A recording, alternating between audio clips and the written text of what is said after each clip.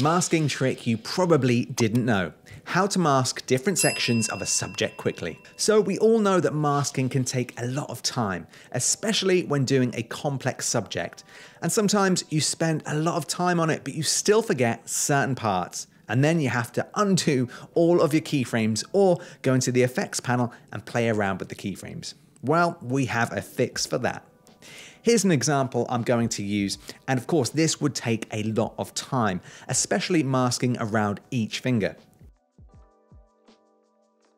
So as you can see here, I've missed this section off. Now, instead of undoing everything I've done and going back around it, go into the effects and search for an effect called Alpha Adjust. Drag this onto the clip, then apply a mask from this effect.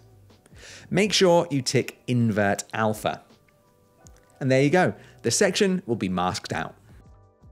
So there you go, just a quick tip for you that you may not have known.